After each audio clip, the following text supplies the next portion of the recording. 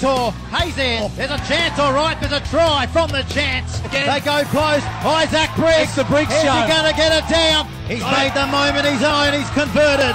The Scorpions have come back and knocked off the defending premiers of 2015. The final score, the Scorpions 26, Lakes 24. Josh Schmiedel joins me on the show. Hello, Josh. Good, mate. Good, mate. Mate, that microphone, I'll just get you to hold it up a bit. But, worries. mate, who do you like? Um, we'll go through the tips first of all. Maitland are playing South. South, of course, in second spot. I think Maitland, they're due for a win, obviously, and they've always been in there every single game that they play. They've only just been sort of losing, and Yeah. they're winning at half time or lose it or come back. But just think going into semi finals football, you've got to pick South.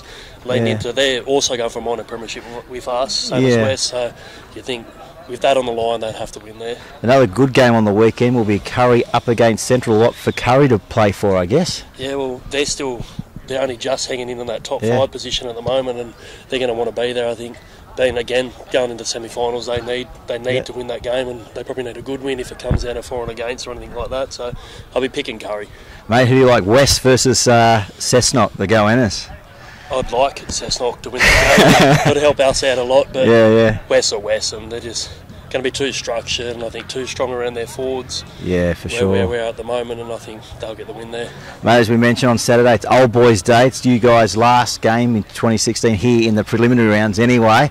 Uh, what's it mean to be a, a Scorp on Old Boys Day?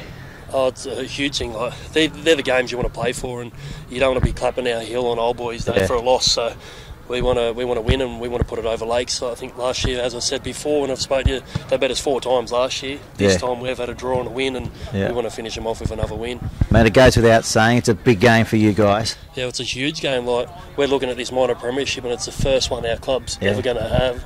We're well, not ever going to have, but it's the first one they, they've never had one. So, and yeah, it's a huge game. If we, we if we lose this, and we've got the potential of losing this, week, we can go anywhere from first to fourth. So Yeah, it's incredible, isn't it? Eh? Um, it's such done a- foreign territory. A tight, tight comp, but we win this, we're another step closer to getting that minor premiership and Yeah. getting that home game off into the semis, Yeah. which is what we want. And I guess, you know, anyone in that top five can actually win the comp. Yeah, that's it. Like It's being where we are, well, we've got six teams that are in the running for the top five at the moment, and Yeah. I think everyone's beat everyone or lost to someone or had Yeah. a draw, so all Incredible. been in the mix. So, yeah. Open grade, they've also, also got a chance to be uh, minor premiers this year as Yeah, well. they're sitting in second spot. They were first there for one week and they lost the one game, which put Yeah, them right. to third, I think. And then they beat Maitland to put them back in the second. So they're also going for the minor premiers. And our reserve grade, they've just hit their straps now. They've put themselves up to fourth and they've got the potential of second and third if they can win the next two. So the club's going strong in the in the top grades. Mate, it's all guns blazing out here, hey? Fantastic.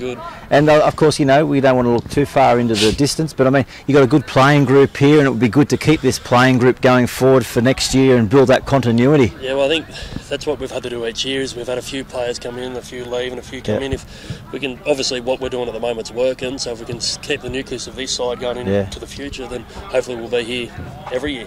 Mate, Adam Bettridge, top job here at the club. Yeah, unbelievable. Like he's probably one of the smartest coaches I've had to deal with, and he's helped my game a lot. Like I've Yeah. changed my game this year a lot. I'm a bit more structured with how I play, and Ads is very clinical with everything he does, and.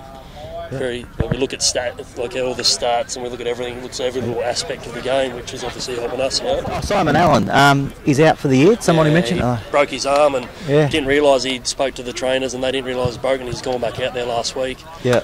During the game, and I think I don't know if he's made it worse, but Yeah. yeah, he'll be gone for the season, there, which is a huge loss for us because he was Yeah. playing 80 minutes, so there was, it'll change our ro- rotations around a lot. But You got the depth to cover we've got it. that depth that we can Yeah. cover it. So Fantastic, mate. be- Well, mate, thanks very much for coming on the show. All the best on Sunday, and we'll catch up with you later.